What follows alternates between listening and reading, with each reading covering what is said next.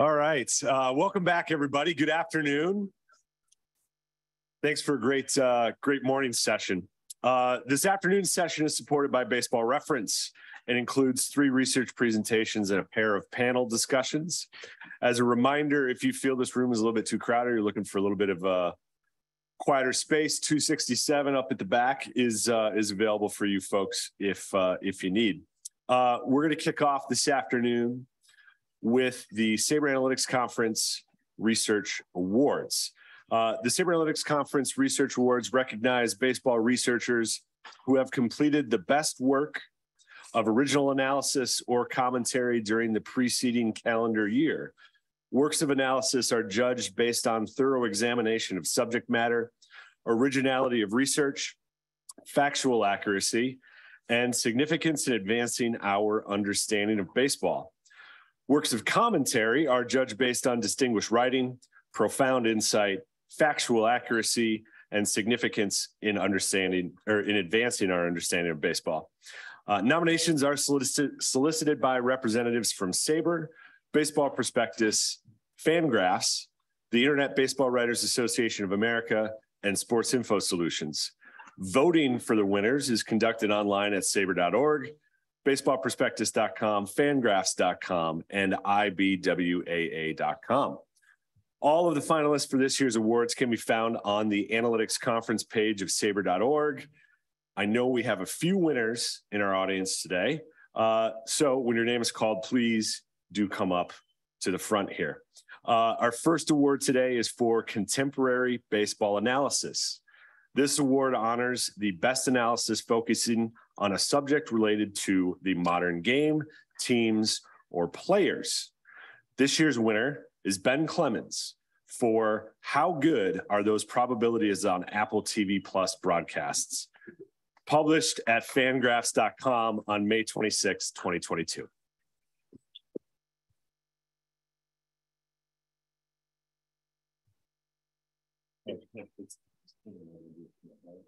There we go.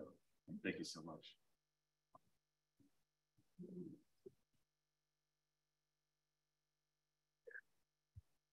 Next is our award for contemporary baseball commentary.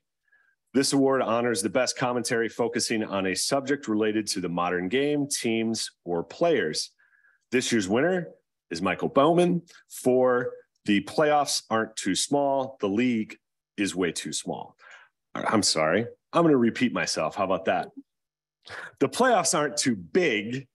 The league is way too small. Published at fangraphs.com on October 4th, 2022.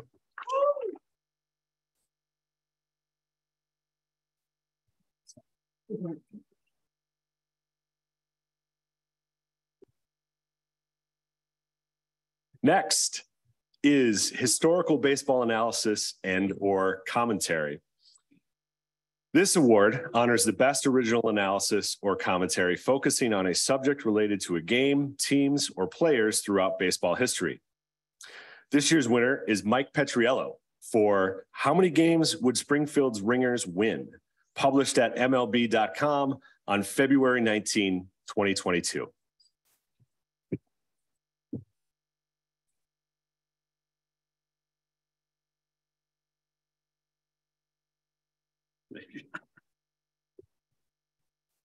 All right, our final award. I do not believe our winner is with us today. Uh, it's also a new award. Uh, this is the John Dewan Defensive Analytics Award, named for the Sports Info Solutions founder and Fielding Bible author. This award honors the best defensive or fielding analysis published or presented in the last year. This year's winner is Russell A. Carlton for So You've Decided to Ban the Shift published at baseballprospectus.com on March 9, 2022.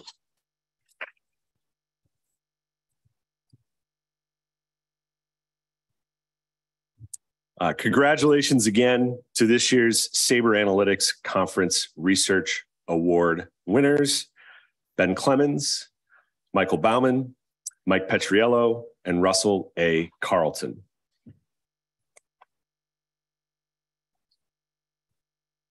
And I hope you all will be able to join us again tomorrow morning when we will present this year's SABR Analytics Lifetime Achievement Award.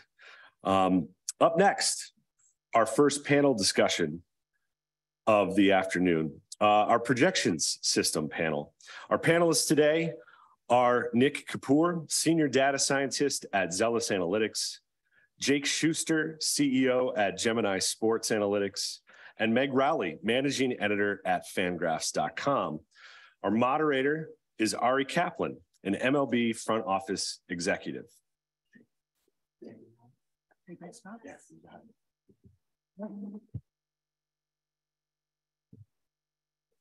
Hey, thanks, Scott, and thanks everyone for coming here. My name is Ari Kaplan, and it's been an honor. This is starting of my 35th season working professionally with Major League Baseball. Um, uh, started out was one of the first five people to work in an organization uh, in the analytics capacity. So blows my mind to see conference like this, which is the premier of the industry. So thank you all for coming here.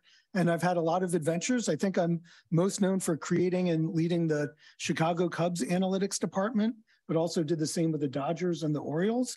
And you know, part of coming into here is learning, you know, how do you modernize everything and what's next, which is why this is going to be a great panel.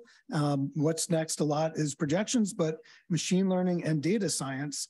So in addition to that, I've also done scouting. So looking at players from the humanistic side and working with them as well. And had honored many of them uh, ended up in the Hall of Fame uh, that I scouted uh, or the majors, you know, everyone from Hunter Pence recommending that he gets the call to the majors. Uh, Trey Mancini, uh, Anthony Rizzo, when I was with the Cubs, was a big one to see uh, when he, the moment the ball touched his glove was when uh, they made the World Series victory. Um, last year was especially fun since Beyond Baseball started branching out. So during Q&A, I'd be happy to share multi-sport projection systems, but I spent the year traveling with McLaren and Formula One, working with drivers uh, Lando Norris, Daniel Ricciardo, and their race strategy team, which was uh, like an adventure, a dream come true. And now um, I work both with sports management worldwide, teaching online sports and baseball analytics, as well as work for Databricks, which is the late, the leading modern data and AI company. And specifically for baseball, the, the teams and the leagues and media use it as a platform for all their data engineering, machine learning, data science use cases with like the biggest scalable uh, uh, scalability you could ever imagine, and also at like a huge like one tenth the the cost. So this is the, the new modern data stack, um, which is exciting to be part of that, but wanted to have each of the panelists uh, go ahead and just start off by introducing yourselves. Yeah, hi, uh, Nick Kapur. Uh, I'm currently a senior data scientist at Zelus Analytics. Uh, we're a consulting company that works with uh, with teams in a lot of professional sports. Um, uh, before Zelus, uh, I spent four years as a senior analyst at the Dodgers. Before that, a year with the Yankees, and before that was at NC State in a PhD statistics program. Hi, I'm Jake Schuster. Um, I'm the CEO of a company called Gemini Sports Analytics. We're a software company. Before that, I was a strength and conditioning coach and a sports scientist in the pro sports world. And I'm Meg Rowley. I'm the managing editor of FanGraphs. Um, I do not actually construct systems, but I oversee all of our editorial. So I think a lot about how we communicate what those projection systems are saying, both to our readers and to other public facing analysts. Great. And uh, ZiPS and Steamer and all of that is uh, things that teams and fans use alike. So it's a great position to have publicly available projection systems. We tend to think so. yeah. Which is a challenge since sometimes teams have their own projection systems, but yes. no one in the audience, unless you work for the team, would know exactly how, how it works. So we'll be here uh, transparent as possible. And uh, Nick, you actually uh, worked with a couple teams as well. Uh, was it Yankees? And... The Yankees and Dodgers. Yeah, that's nice. right. So have some access to some, or have some knowledge of some of the more proprietary projection systems. But you know, one of the nicest things about the like the uh, pervasiveness of of several different projection systems is you can use them together, right? An, an aggregate estimate is often better than any individual estimate is. So, uh, you know, at teams people are not only using their internal projection system, but also a lot of the public ones to to make them better and to identify edge cases and things along those lines. Sweet. So yeah, why don't we start off like, and, by the way, for all these questions, feel free to answer or skip. I have more than enough to fill up the time. We're going to have about 20 minutes of Q and A at the end, but yeah, like only if you want to add something. Don't feel like everyone has to, uh, unless you want to. But yeah, so what what do projection systems like? What do they mean to you? What are they like? How are they developed and deployed? I think you made a really important point. You know, a, a rising tide lifts all boats, and and it shouldn't be about our model versus someone else's model. You should look at everything together so that we can compare and contrast and find the best answer. Really, I, I, think the most important thing when looking at any kind of prediction is setting expectations. So, not saying this is a single point, which you'll probably talk about, but this is our level of confidence in that right. point.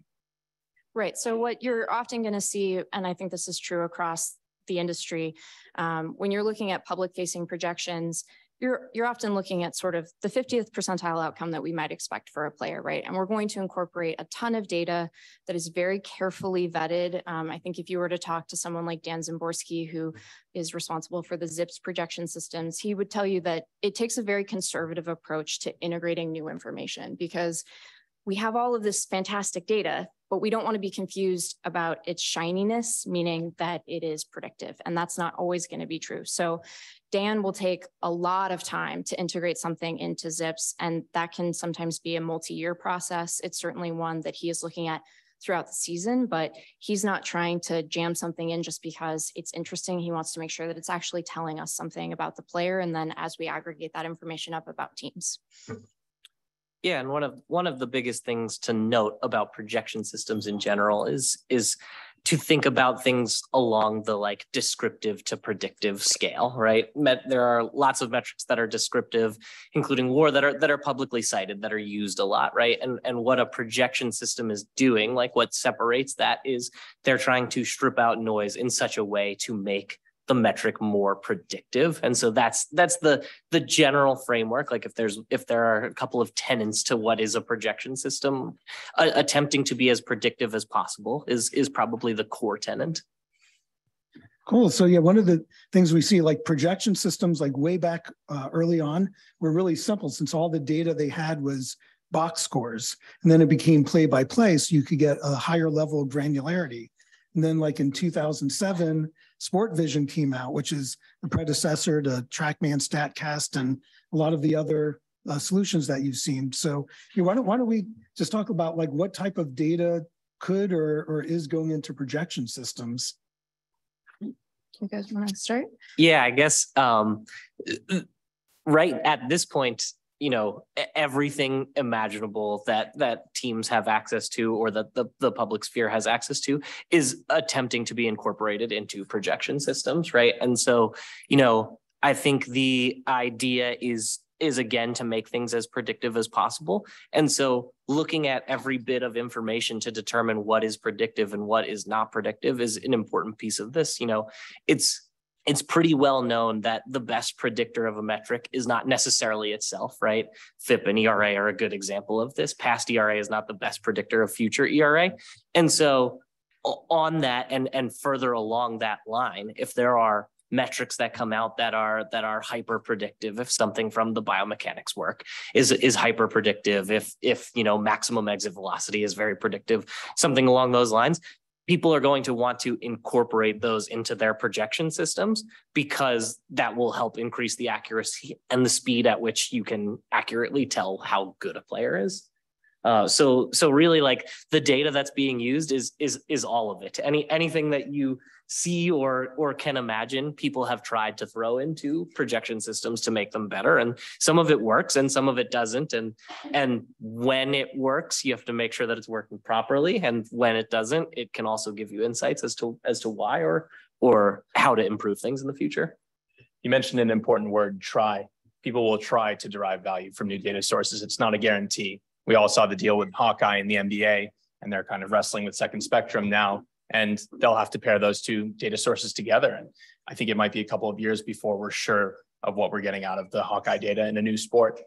And then I think that you also have to consider things not only related to a player's performance, but the player as a as a physical athlete, right, you're trying to think about things like injury. You want to think about how a player is going to age over time. You're using, you know, huge data sets of other comparable players to try to get an understanding of that. It's going to be imperfect. And, you know, I think about the sort of biomechanical data that teams have access to and how useful that would be on the public side. Obviously not something that we're going to be able to incorporate into public side projections, but you know, we are trying to do a version of that to understand, you know, what is the difference from between a guy who's 21 versus 31 versus 41. You know, we've had a lot of baseball players by now, so we can have some kind of sense of some of that stuff.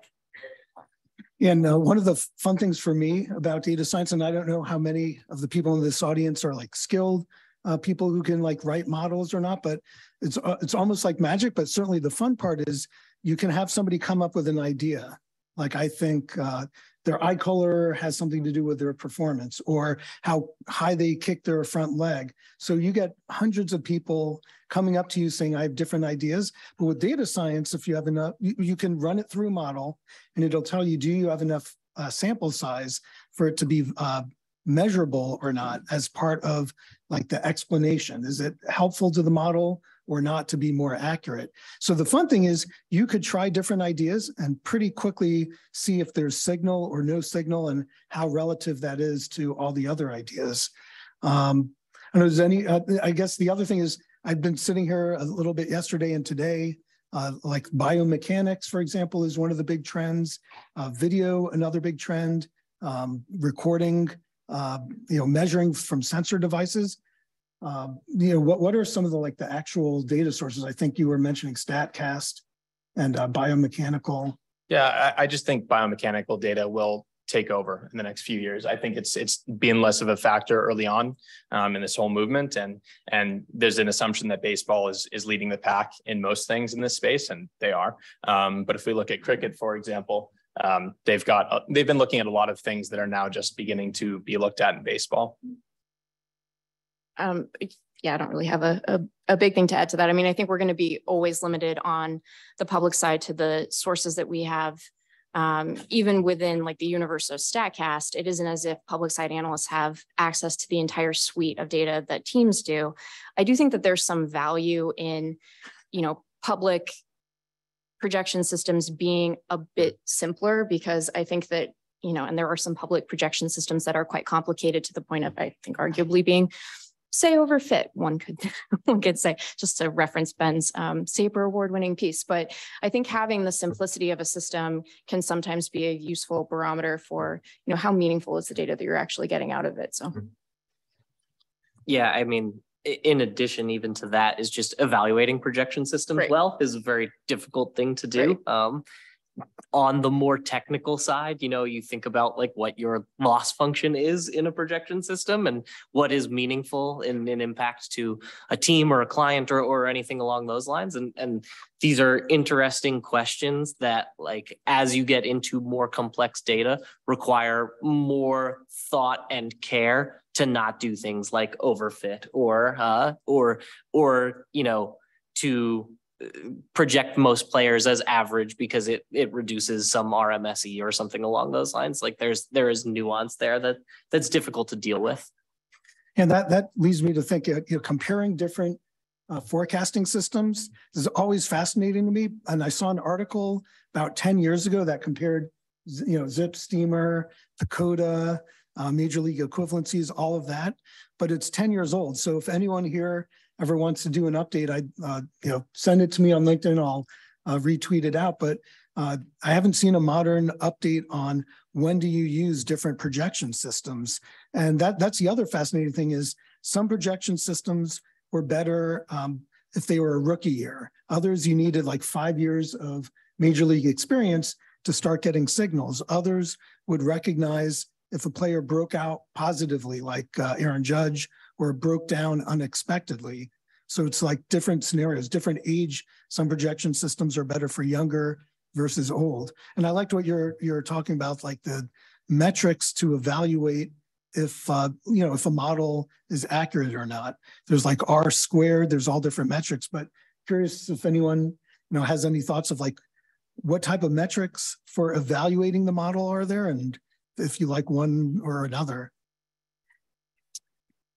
I think that it's hard to go with any individual metric for evaluating models and to say that this is a perfect summary of how to uh, evaluate whether my projection system is good or not. I think, you know, oh, the way that I tend to think about it and want to think about it is what is useful for a client to be able to take uh, and and make uh, moves off of, right? Like to be able to make transactions off of. Uh, and so for me, thinking about model evaluation from a from a perspective of what is actually tangibly useful for a decision maker is something that lets me you know think about things with, within the evaluation sphere differently. So for example uh, you might not want to measure your average error on all players because some population of the players is is uninteresting because they're unacquirable or something like that um you know but but you might want to focus a lot of time on players projected in the like in the like slightly above average to very above average and and to suss out how to um how to rank those players and what the spread is between them. And so you know i think that this is a layer that in statistics is often uh like a uh cross your t dot your i. And within baseball one of the beautiful things is that we have the ability to think about these problems with real tangible examples that we can recognize right away um, and identify when things look wrong or look correct uh, and taking advantage of that from a statistical lens is also su- super interesting to me yeah, I, I think it's just important to think about the stakeholder on the other end, right? And and what is good enough for that situation in terms of model performance or just confidence in any prediction or projection. Um, so whoever has the the model output in their hands or the algorithm in their hands has to decide that they're going to communicate to the stakeholder in a way that they can understand, or make a call on if they're confident in that in that projection and communicate as such. I don't know that I need to add anything. to Sure. that. So yeah, Meg, uh, yeah, speaking of that, we had a, you know, cool uh conversations leading up to this and you know, one of the great things in your position being, po- you know, external focused, you know, for example, like the O, the Orioles. being, Sure. Like performing more or Aaron Judge, uh, you know, how, how, how does that all make sense? So I think that, um, well, the first assumption that readers tend to make, and sometimes players for that matter, is that we hate your team and we don't. um, I think that the the big challenge that um, public facing publications that have a projection system have is the the degree of statistical literacy in your readership is going to be really variable. And i think that there is a default assumption when a team dramatically outperforms say its playoff odds from early in the season that the model got something wrong. We made a mistake. And that's possible. So i don't mean to say that we don't need to evaluate the projections and make sure that you know they're rigorously based and they're making good assumptions and the data is good but often, what will happen when a team goes from having pretty low playoff odds to being in the postseason is that something remarkable happened or something bad happened to another team. You think about last year's Guardians. The Guardians social media account really enjoyed saying like how far they had come from a playoff odds perspective. And I think that players and teams, if they want to make bulletin board material out of like public facing projections, that's fine. I think being a baseball player is really hard. And if that gives you a little extra oomph when you're going in, cool.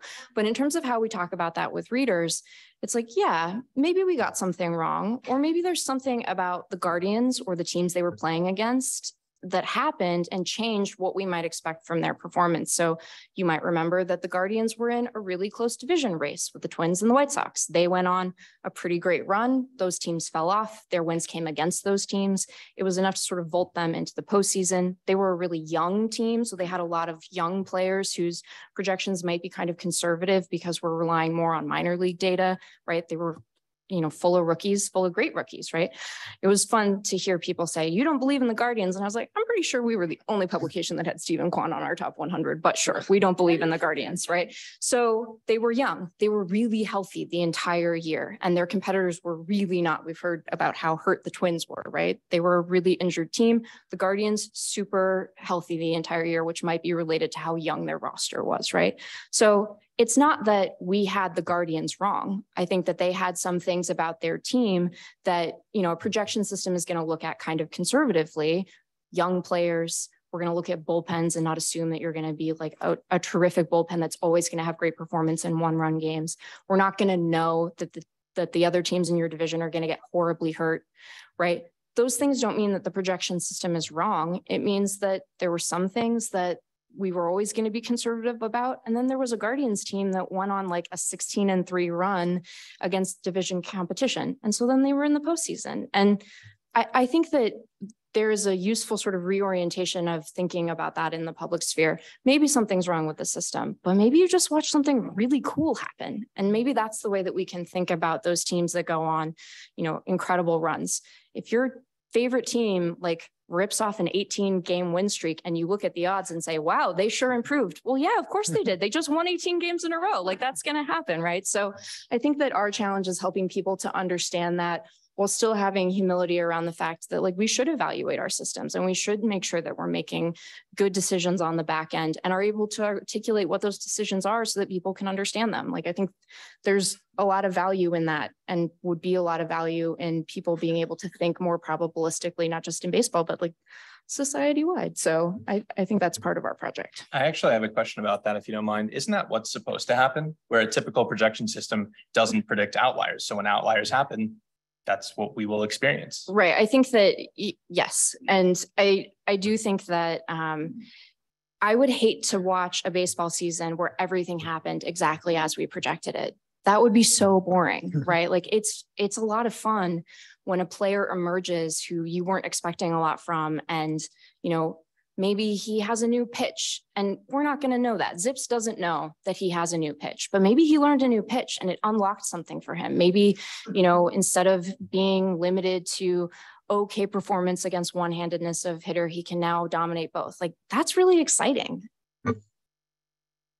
Yeah that's super exciting. And you know players who have never played before you call someone up from the minors they have minor league data and uh, you know, we have minor league equivalencies, right. but it's like out even outside of baseball, it's called cold start uh, forecasting. You're you're Pepsi and you want to come out with a new product that hasn't come out before. How do you predict what will be a success a year from now or not? Same thing with a a player and hey, Meg, uh, like your your thoughts of like uh, you predicted or your system predicted X, Y happened, whether it's like the presidential elections or anything in the world. It's like a psychological uh, you know, thing that a lot of people have to overcome.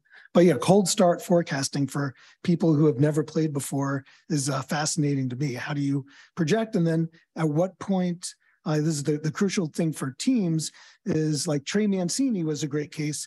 Somebody I personally, who's in the minors, uh, Dan Duquette said, pick your top minor league player to get called up. It's your call. Couldn't believe he just like, you just name them. I'll trust you on that one. And I looked at the whole minor league system and so I had all the evidence and reports and information.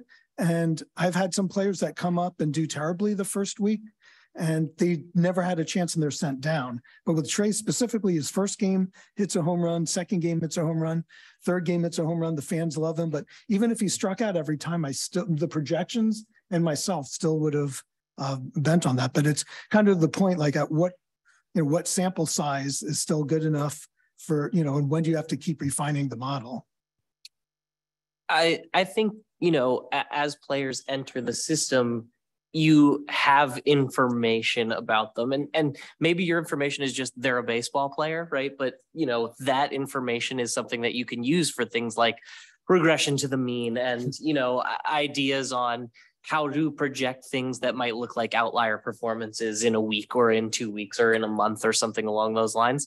Uh, and by by using a, a, regression to the mean and and and other statistical methods properly, um, you can limit yourself uh, from from straying too far from like what a, what a reasonable projection is. You know, I think that uh, we we want to have a projection system that when a player enters uh, you know the college database we can project them all the way up through to the time when they're in the major leagues right? That's that's the ideal. And as you gain more information your projection will be more accurate but that doesn't mean that you can't uh, pretty reasonably say things about them early in their career especially when you have statistics that are reasonably stable, something like stuff, or, you know, right. plays on defense that they make or, th- or things like that. There are there are ways to capture player value quickly. Cool. So yeah, one one other yeah that, that that's awesome. Um, and one other thing, just uh, I went to a spring training game and everyone's watched on TV. The big changes in rules this year kind of ties into another projection system challenge, which is, is called data drift in the industry, where the data is changing over time uh, like maybe the sticky stuff, the ball might be changing, or um, steroids or not, or you know people, uh, you know pitchers due to the biomechanics revolution are throwing faster with more spin or more command.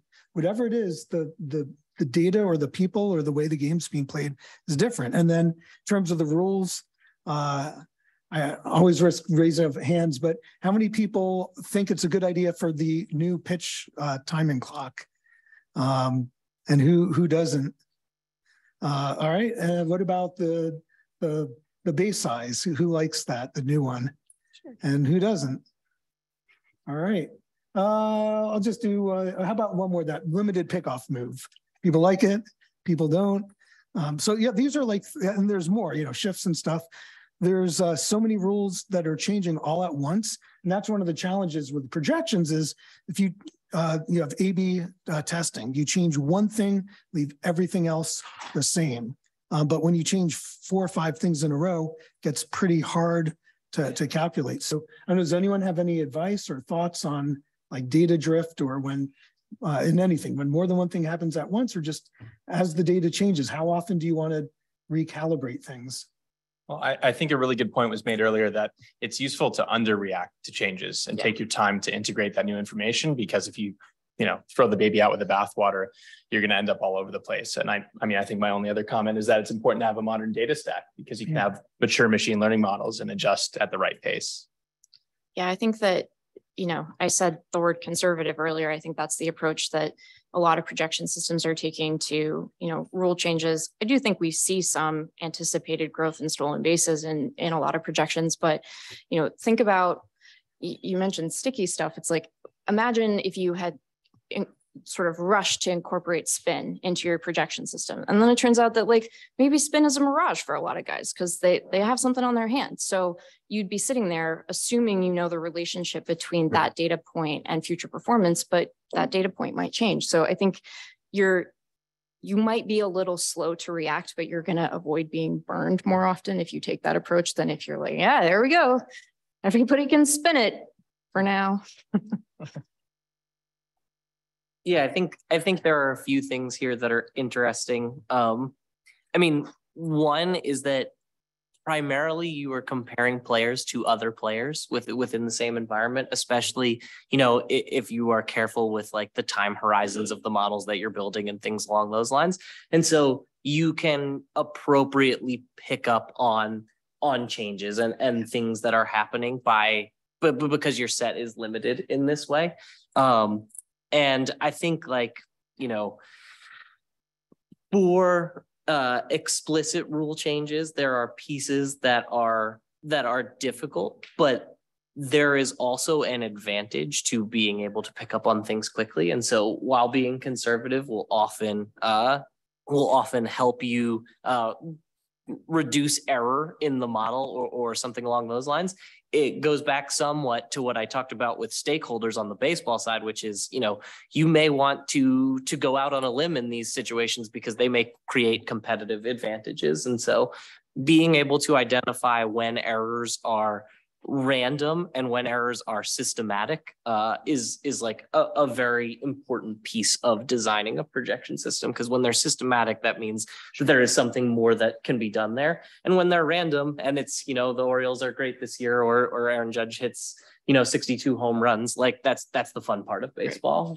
You raise an important dynamic though is, is that rule changes affect everyone and some will respond better than others but but we can take our time observing those changes. Yeah. Sweet. And, and by the way, people who raised their hand, it seemed like the, the majority, vast majority were in favor of some of the rule changes. It's pretty neat. I went to the fastest game that I had been in possibly in my life. It was two minutes and no, two hours and three minutes. wow.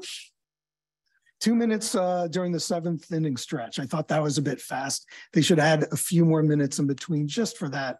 But um, yeah, it was, it's going to be you know quite different. I'm I'm excited to see how all the projection systems change and the teams that are more agile that can understand these subtle differences and uh, account for it uh, are going to be at a, a, good advantage for many many years.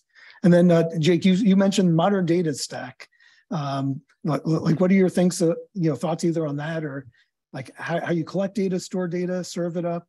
Yeah, I mean, there's a lot to do there, and, and Nick will speak better on this than I could. But I, I just think recently there's been so many advances in bigger industries are taking advantage a little bit faster. I think for sports team owners, just hiring a lot of people that know this domain has been enough for them. And now they realize that they have to modernize their, their systems and processes um, as well as the technology. So, you know, having a cloud and having the right kind of data engineering process and having the right kind of model architecture is going to be very important to get answers fast enough um, and have people understand it.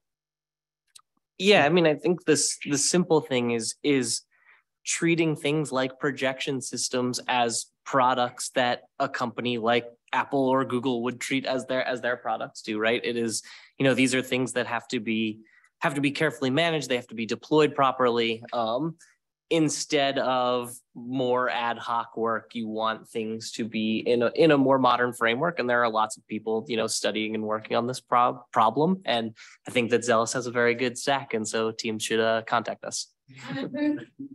Absolutely. And, and I mean, it's important to remember, like the end user doesn't care how we got there. They don't. They don't care about the underlying numbers. They don't care about how hard you worked on the algorithm. They have a jobs to be done framework and they have questions that they want answered. So setting up a system that's going to help us get there is, is important. And part of that modern data stack is like traditional databases like Oracle had structured data, you know, numbers and uh, text and, and things like that, characters, booleans.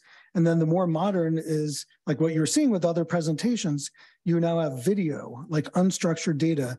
You have biomechanical markers, three-dimensional dots moving around. You even have like scouting reports, text and things like that.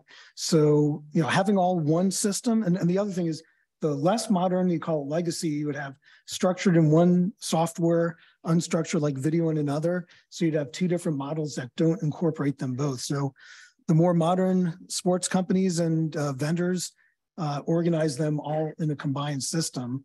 But I don't know, anyone have thoughts on how unstructured data, scouting reports, medical information, biomechanics can help with these projection systems?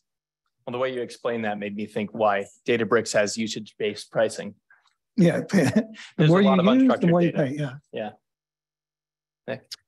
Yeah, I think um, I think a lot of unstructured data is is difficult to start dealing with. And so this is why i think you know companies want to have sophisticated and robust like baseball systems teams essentially like data engineers people who are who are thinking about and and working on these problems. You know the number one piece of of kinematic and biomechanic data getting that into projection systems and into uh into more popular metrics is actually ingesting the data. I mean, it's it's very difficult time series data that you're getting markers stamped, you know, 60 times a second, 120 times a second uh, for many different body parts and has to be sequential. And so a, a lot of this data is difficult to work with. Um, and and is a problem that is being solved more on the data engineering side at this point and that will allow sort of the analytics layer to to thrive. Uh,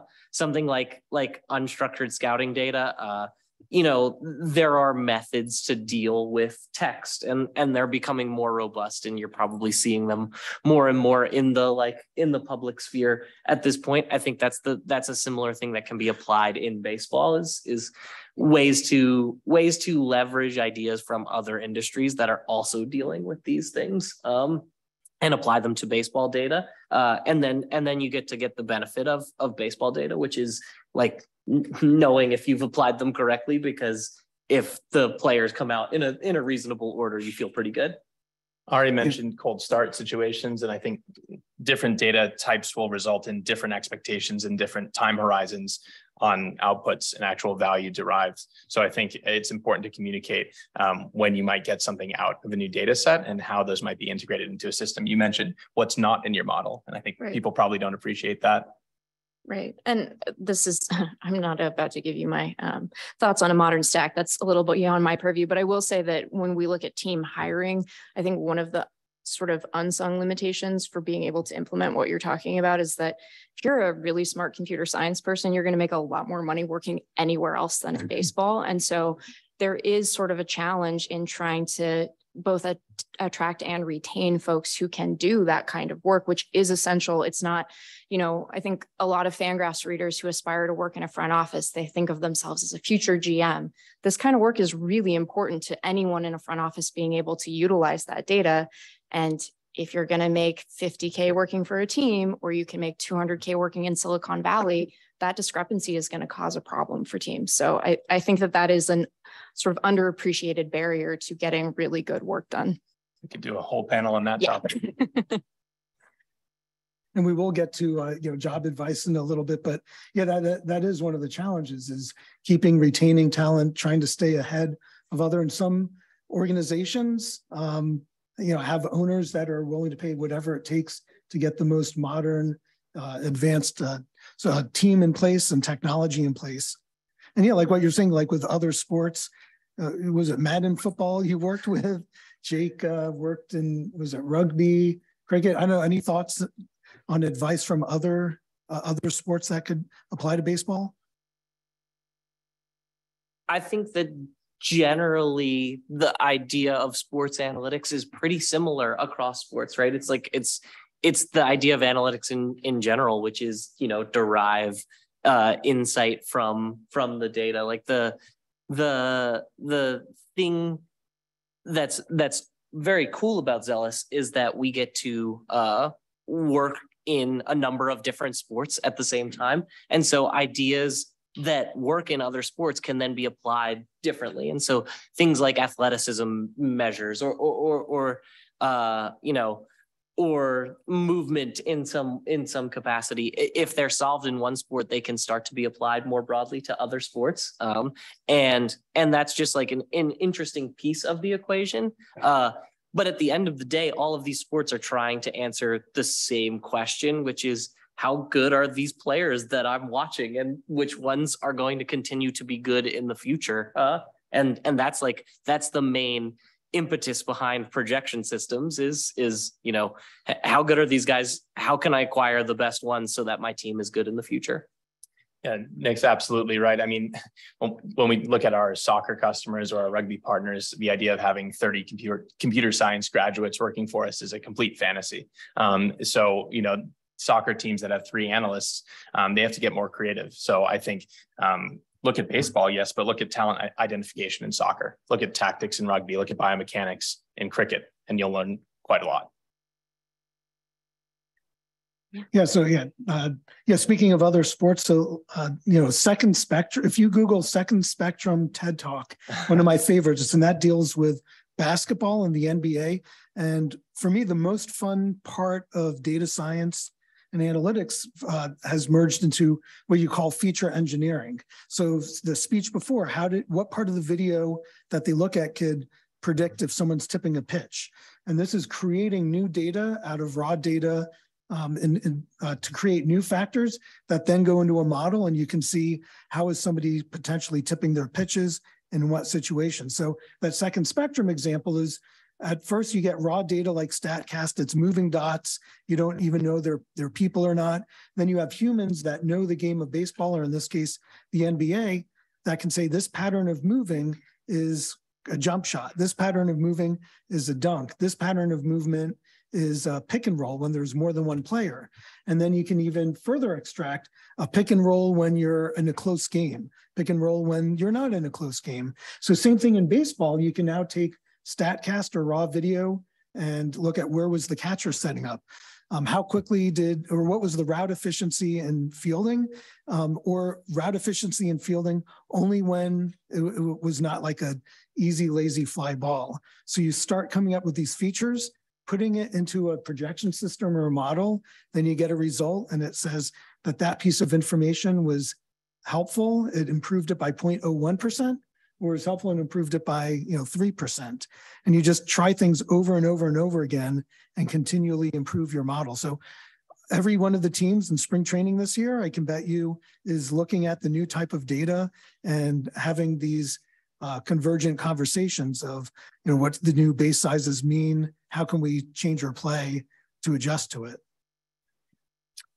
Yeah, and as an analyst, sort of similar to anything else, what you want to do is stand on the shoulders of the people before you, right? Like you you don't want to have to resolve every problem. And so whether this is other sports or or even just other industries, um, in general, you know, you can find people who have who have attempted to use data in in any number of ways. Pe- people have been using video data and and are continuing to iterate on it, and so you don't have to start from scratch with any with any data source. You you have the ideas of of people who have tried this before you, um, and you know that is that's it's it's such a, a fast start for for things like video data or text data or or or implementations of you know movement patterns or things along those lines maybe I'm the boring contrarian. I, I, think there's a lot of exciting new stuff, but I think we can use what's already there a lot better and make it more accessible. So I think you know there's there's lots of uh, value hiding in plain sight. So yes, absolutely, look at what people have already been looking at and just do it a little bit better. Well, and I think for for a lot of um, at least public facing projection systems, like I say this, and then we're going to have some incredible breakthrough, but like the you know the advances in the early days of projections were so significant and now you know you're you're trying to get more and more precise but i think the you know each individual upgrade on average is going to be of a smaller magnitude just because a lot of the low hanging fruit has been picked Cool. So I'd love to hear from each of you. Like, one of the general questions is, all right, so we have data, we have analytics, we have players and coaches like and then i hear there's some teams that have 20 30 40 people in their data slash analytics staff. How do they all work together? So uh, i want to hear like what are your like how does a team of people collaborate and work whether it's at an actual team or if it's at your company itself and you want to talk about that? Either one. Uh, i'd love to hear some more about that.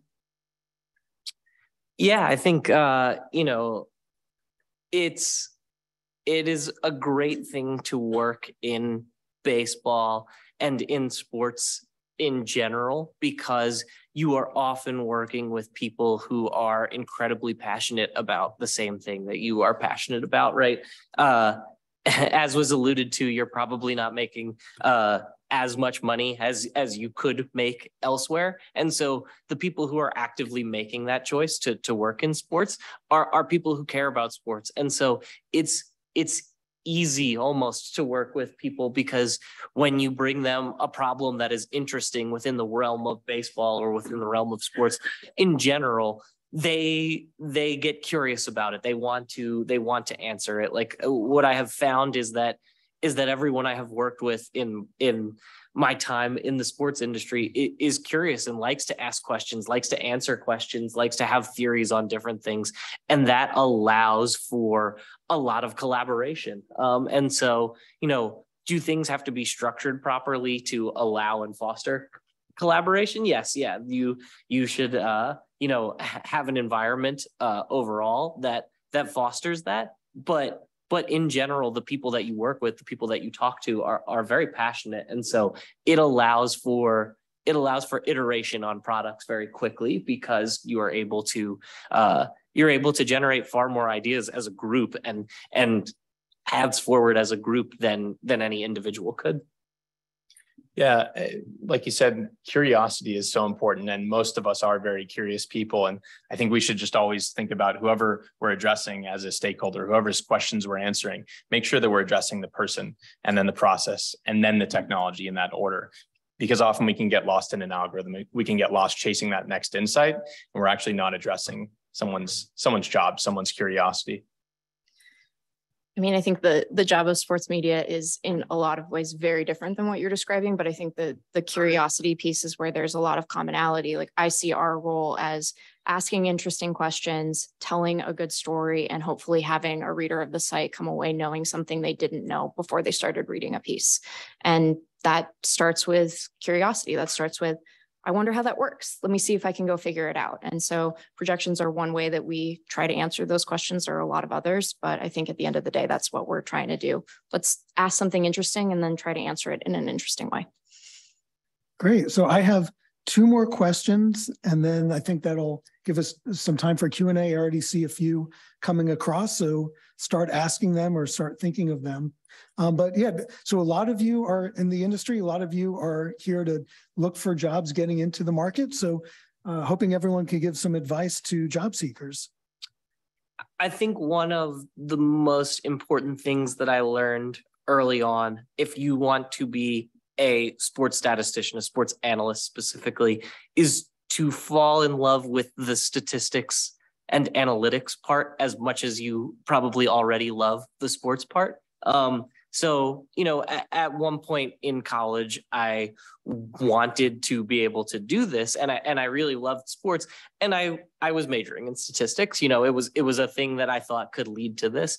Uh, and when I sort of when I when I delved into it from a perspective that wasn't just applying it to sports and tried to understand what was going on and and to be passionate about um, about things like building models for their own sake or or things like you know structuring code properly or, or anything along those lines. That was an extremely helpful moment in in upping my sports analytics game as well because it allows you to uh to take from both sides, right? To, to take a model that you think is really interesting and that you're passionate about, and then find a sports problem that relates to it, and then you know pursue that that as a, as a joint endeavor rather than trying to like have a sports problem and hoping that your statistics education is enough. You know, I think that's that's one of the the most important things is is figure out if you if you truly love statistics and analytics and if that's the path for you within sports uh, because that's that's important. That that is the the core piece to being able to be successful uh, w- within the sports analytics industry. The other is if you really want a sports job, be a software engineer who's willing to not make that much money. that was the first thing I was going to say. Um, yeah, the subjective is is build quality of relationships rather than quantity. It is a, a people industry um, and get really good at dealing with rejection and doubt and disappointment um, and then build resilience, like just keep going over and over and over. The objective part, I think, is is do something of value. Like as much as it's important that people like you and that you are a person that people want to work with, um, we all have stories of of someone who got picked up by a team because they had a great conference poster or came up with a variable or published a paper. Go be that person there's tons of things the teams are thinking about saying, oh, I'd love to have some insight on that or some expertise on that. Go find out about it and go become an expert about it, and someone will, will pick you up. I guess I'd say if you're going to try to take the path of working on the public side in sports media as an avenue to getting a team job, you need to care about writing. Like I, I we could do an entire panel about how, you know, there isn't enough of an emphasis in STEM fields on being able to actually communicate in writing. We get a lot of contributor applications from very smart people who are doing cool work and could never in a million years explain what it means to a reader. It's a whole generation, actually. Well, I, I just think that there's, you know, there's less of an emphasis on it than there could be. And I I know sometimes that makes people roll their eyes, but if you're working on the team side, you're still going to have to communicate internally. You're still going to have to be persuasive. You're still going to have to explain your ideas. You might not be doing that in a 1500 word post with some GIFs thrown in, although maybe you are like, that sounds fun. But if you can't communicate that stuff to an audience, you're not going to find purchase on the public side, at least as a writer. So it, it does matter. It matters how you're able to communicate your ideas and you know you can be really really smart but if you can't help someone understand what you're saying it's going to be hard for you to find a writing role so keep that in mind and like read a lot because that tends to make people good writers in my experience. Yeah, I just want to add to that. That is that is so important. Like I wasn't being flippant. I, I think we haven't been taught enough about writing as a generation in school. Um, and you know, I get about five LinkedIn messages or emails a day asking for a job.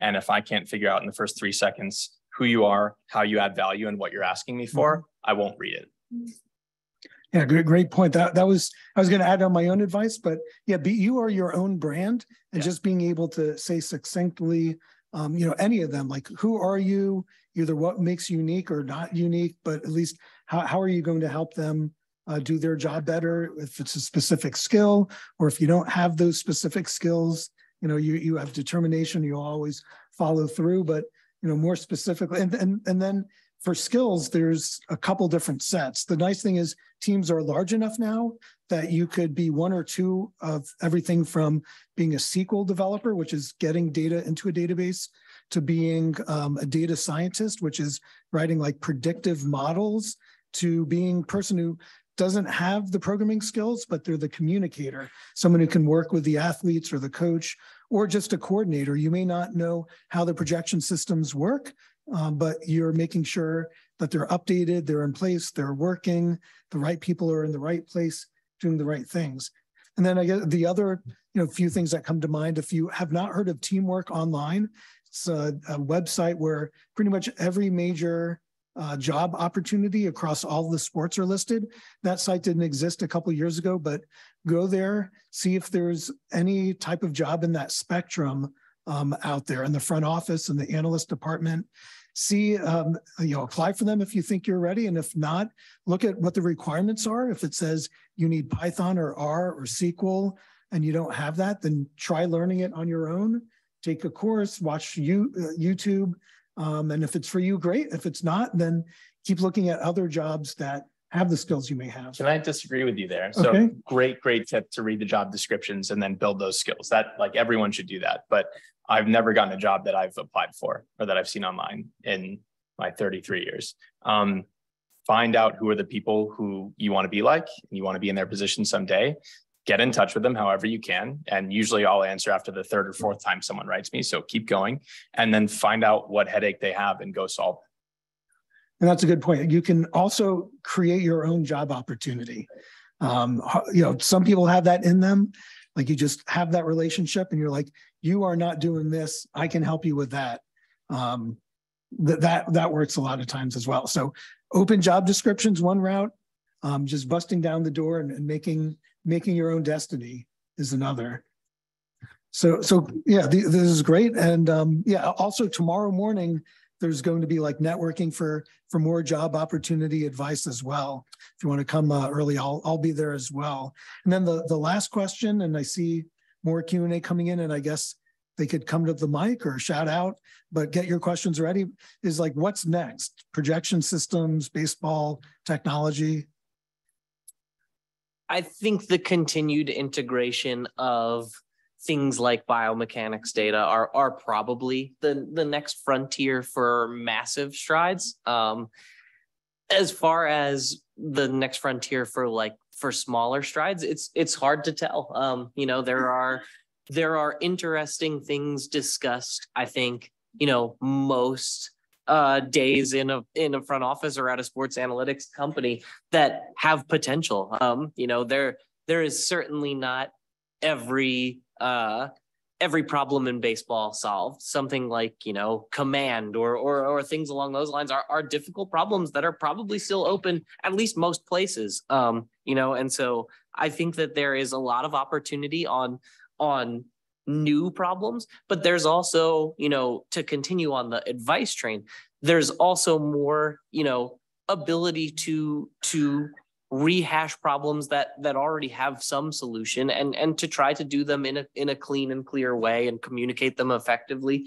And you know that perhaps can make small gains. And so uh so i think i think there are a lot of things that could be next and it's it's hard to tell what's going to be next on the on the shorter term side. On the longer term side you know a, a lot of this work with with the new data sets is is often what is going to to break through uh for new levels of projection systems Great.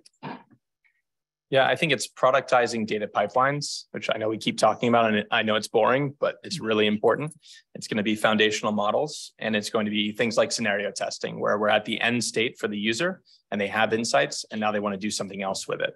Um, so obviously, I'm, I'm drinking my own Kool Aid here, but you know, part of our mission is to empower um, moderately technical executives. So there's a lot of assistant general managers in baseball who have a finance background or or they have a master's in statistics, but they don't build machine learning models anymore. Um, but they can sit in a dashboard and they can ask what if questions of a model. So I think putting those kinds of insights, like you talked about with new types of reports in in the hands of stakeholders, I think will help us get more out of what's already there. Sure. Oh, cool. Well, yeah, the, the great thoughts. So we'll open it up. I think we have like twelve minutes or so for more Q and A. Um, and I have some from people on Zoom for everyone who's online. I think there are multiple hundreds of you. Thank you for being part of here. But does anyone uh, in person have any questions? Sweat under the microphone. Um, my question is in regards to contract negotiation, that in arbitration or in the free agency, uh, regard, how important is it, or what's the balance between, uh, use of descriptive statistic versus use of predictive statistic? Because a lot of times from player side, we'll use descriptive as in, this is what I've done at this point, I can't predict the future, but I have a fairly good sample size here versus a team may be more likely to use a predictive system where we use that data and we put it in our system, predict future productivity, and ultimately that's the million dollar question. Uh, so what is the balance between use of descriptive versus predictive systems?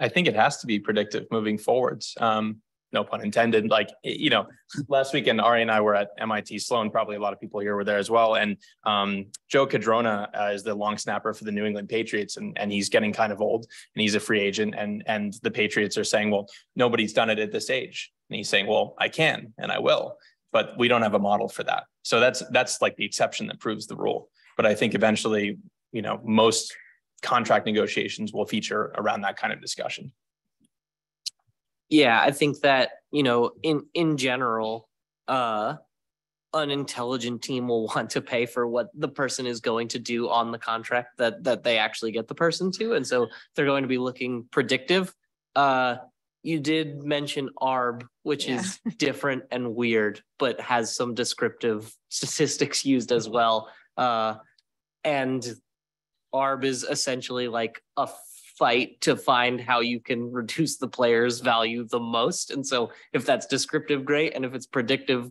great. Uh, so like that's the one scenario where maybe there's some descriptive use if it benefits the team. Well, and there is some actual, there are some bumpers put into that process by the mm-hmm. collective bargaining agreement about what you can actually bring into an ARB hearing. Mm-hmm. Um, but yeah, I mean, teams are trying to get less, players are trying to get more, and you're often in front of an arbiter whose experience with baseball and with advanced analytics can be wildly variable. Mm-hmm. And so I know that has been a point of frustration for players and agents as they've tried to navigate that process because often even very smart teams are going to rely on stats that they aren't using to make actual roster decisions to try to lowball a player. That's that's a huge point. Yeah. And I think agencies will start employing more data scientists. And a lot of them are, but when you're up against both a front office and then the league's LRD, like it, it can feel like a, a big mismatch, I think, especially for guys repped by smaller agencies. Yeah, great question. So I'll alternate online and in person. So one really good one online was how the men- mental approach, personality, um, you know, th- those types of abilities, like the non-measurable on the field, how does that affect or does it uh, projection systems? I think often uh you as a projection system I, I often think of the way that decisions are made as as layered. Um, so the projection system is not just the end all be all, and that, that is the only thing that is considered, right? Uh, it, it's often a good jumping off point to to adjust from, and you know if it's on I don't know what what scale the the WOBA scale, you might adjust it a couple points up or a couple points down based on other factors or things that you think that you're missing, and so you can be uh you can be nimble within uh within the context of what your actual projection says to allow you to have a nice base that's a good foundation and to move off of those. But i also think that often a lot of the things that uh that can't be measured should should eventually uh trickle into things that actually happen on the field of play Uh, and so, you know, the hope is that eventually you do measure those things by the player actually performing better in clutch situations or whatever it may be from from the mental side. Yeah, baseball is unique, but in most team and field sports, there are athletes who make everyone around them better, but we can't measure how. Um, and Ari's question, I mean, that's the first question you get at a barbecue when you say work in analytics, right? Is how do we factor for if a player's a jerk or if they're lazy? And the answer is we can't, or if we can, it's really hard. And Nick mentioned free text from scouting reports, like that. That should be used more and more, I think with the caveat that you have to be careful to not introduce bias into your understanding of a player because at the end of the day it is people doing those evaluations. And since there isn't something quantifiable maybe they have a really good sense of it or maybe they don't like that kind of person and it's coloring their understanding of what that you know player is going to do on the field. We make a point i mean we don't have data that would be particularly useful in that endeavor but i know that Dan reminds readers every year that he does not put his thumb on the scale of ZiPS. Like he might disagree with a projection, but it it just is what it is. And then I think the job of writers is to look at some of the other factors that might influence, you know, how a guy is perceived on his team, or you know, we might know that a player suffered a family loss and that perhaps he's just going to have a down year because he's dealing with grief. Like we can know those things. It's hard to teach the computer that. Yeah, but yeah, some things you can measure, some things you can't, some you can factor in, some you couldn't. Um, like one example, like Hunter Pence, when we were evaluating him to come up, there are of course many physical uh, attributes that made him an incredible player. But believe it or not, about half of the scouts said no, he's not major league quality. About half of them did. They the GM uh, turned to me and said, "Ari, you're the deciding factor." So of course I said, I'll let you know in a couple days. And I didn't want to give an answer in front of everyone, but looked in the one kind of, I guess you could call it mental, but it was quantifiable, was how well he adjusted to pitchers compared to other people in his peers at AAA Round Rock. So you may call that mental, but it was if you're willing to adjust. Um, a lot of players are stubborn and they've always been the best uh, in the high school, college, and they don't adjust and they might have the raw skills to last in the majors, but you need to be able to adjust uh, generally to succeed after multiple years. And you know, he was in like the top 2% of all AAA players that would get better in a certain way against opposing pitchers compared to the peers. So that at least said he has the humbleness to be willing to take um, constructive feedback differently, which I guess could be a mental uh, approach. But that, that that's a that was a great question. Uh, any? Uh, how about you? And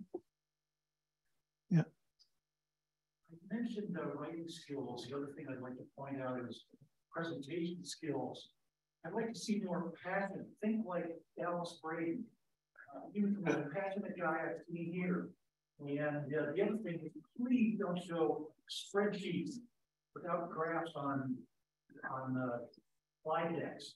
And I wouldn't show you to tell a joke once in a while. Anyone know any good jokes on that note? Yeah, well, um, how about uh, you?